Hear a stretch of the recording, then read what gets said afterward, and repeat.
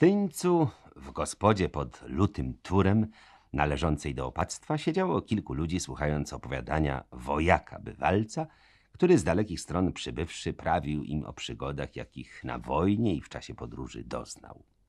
Człowiek był brodaty, w sile wieku, pleczysty, prawie ogromny, ale wychudły. Włosy nosił ujęte w pątlik, czyli w siatkę naszywaną paciorkami. Na sobie miał skórzany kubrak z pręgami wyciśniętymi przez pancerz, na nim pas cały z miedzianych klamr. Za pasem nóż w rogowej pochwie, przy boku zaś krótki kord podróżny. Tuż przy nim za stołem siedział młodzieńczyk o długich włosach i wesołym spojrzeniu, widocznie jego towarzysz lub może giermek, bo przybrany także po podróżnemu, w taki sam powyciskany od zbroicy skórzany kubrak.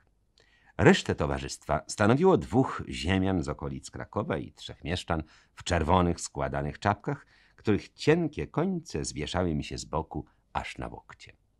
Gospodarz Niemiec w płowym kapturze z kołnierzem wycinanym w zęby lał im z konwi sytne piwo do glinianych stągiewek i nasłuchiwał ciekawie przygód wojennych.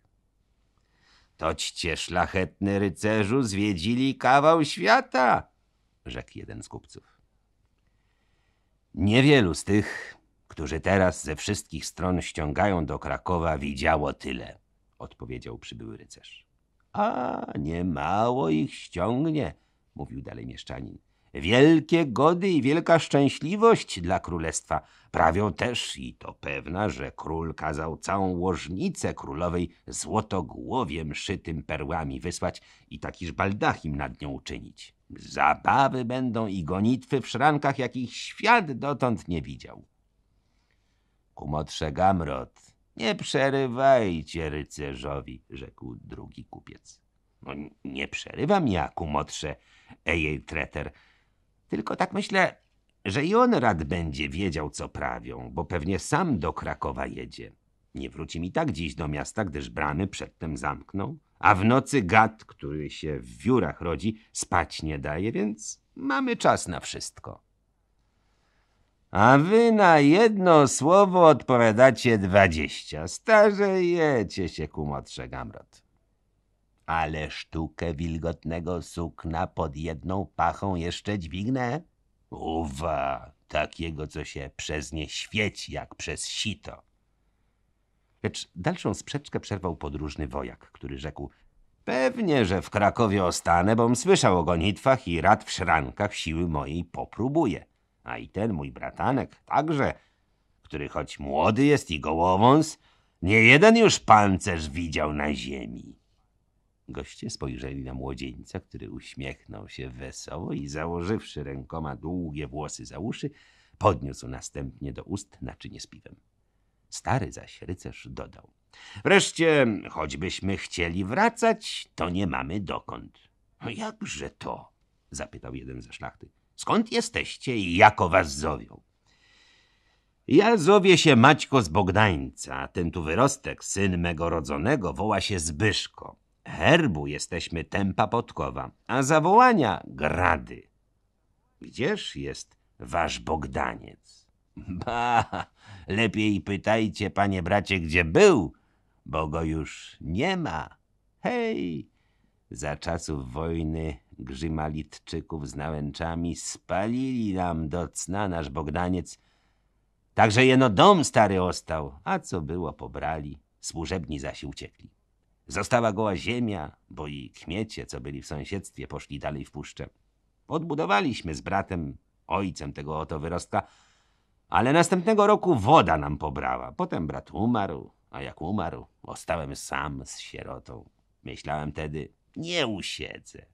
A prawili pod on czas o wojnie i o tym, że Jaśko z Oleśnicy, którego król Władysław po Mikołaju z Moskorzowa do Wilna wysłał, szuka skrzętnie w Polsce rycerzy. Znając je więc godnego opata i krewniaka naszego, Janka Stulczy, zastawiłem mu ziemię, a za pieniądze kupiłem zbroiczkę, konie, opatrzyłem się jako zwykle na wojenną wyprawę. Chłopca, co mu było dwanaście lat, wsadziłem na podjezdka i haj do Jaśka z Oleśnicy. Z wyrostkiem? O, nie był ci on wówczas nawet wyrostkiem. ale krzepkie to było od małego. Bywało w dwunastym roku oprzekusze o ziemię, przyciśnie brzuchem i tak korbą zakręci, że i żaden z Angielczyków, których heśmy pod Wilnem widzieli, lepiej nie naciągnie. Takiż był mocny? Hełm za mną nosił, a jak mu przeszło trzynaście zim, to i pawęż. Już to wojny wam tam nie brakło. Za przyczyną Witoldową siedziało książę u krzyżaków i co roku wyprawy na Litwę pod Wilno czynili. Szedł z nimi różny naród, Niemcy, Francuzy, Angielczykowie, do łuków najprzedniejsi, Czechy, Szwajcary i Burgundy. Lasy przesiekli, zamki po drodze stawiali i w końcu okrutnie Litwę ogniem i mieczem pognębili. Także cały naród, który tę ziemię zamieszkuje, chciał już ją porzucić i szukać innej, choćby na kraju świata, choćby między dziećmi Beliala, byle od Niemców daleko. Słychać było i tu, że wszyscy Litwini chcieli pójść z dziećmi i żonami precz, aleśmy temu nie wierzyli. A ja na to patrzył. Hej, gdyby nie Mikołaj z Moskorzowa, nie Jaśko z Oleśnicy, a nie chwalący się, gdyby i nie my, nie byłoby już Wilna. Wiemy, zamkuście nie dali, a nie daliśmy. Pilno tedy zważcie, co wam powiem, bom człowiek służały i wojny świadom. Starzy jeszcze mawiali. Zajadła Litwa. I prawda. Dobrze się oni potykają, ale z rycerstwem nie im się w polu mierzyć. Gdy konie Niemcom w bagnach polgną, albo gdy gęsty las, to co innego. Niemcy dobrzy rycerze, zawołali mieszczanie. Murem oni, chłop przy chłopie, w żelaznych zbrojach, stają tak okryci, że ledwie psu bratu oczy przez kratę widać. I ławą idą. Uderzy, bywało, Litwa i rozsypie się jako piasek. A nie rozsypie się, to ją mostem położą i roztratują. Nie sami też między nimi Niemcy, bo co jest narodów na świecie, to u krzyżaków służy. A chrobre są. Nieraz pochyli się rycerz. Kopie przeć się wyciągnie i sam jeden, jeszcze przed bitwą, a całe wojsko bije jako jastrząb w stado. Chryst, zawołał Gamrot. Którzy też z nich najlepsi? Najwięksi rycerze są ci, którzy z francuskiej ziemi pochodzą. Taki będzie ci się bił z konia i piechotą, a przy tym będzie ci okrutnie waleczne słowa gadał, których wszelako nie wyrozumiesz, bo to jest mowa taka, jakobyś cynowe misy potrząsał, chociaż naród jest pobożny. Przymawiali nam przez Niemców, że pogan i Saracenów przeciw krzyżowi bronimy i obowiązywali się dowieść tego rycerskim pojedynkiem.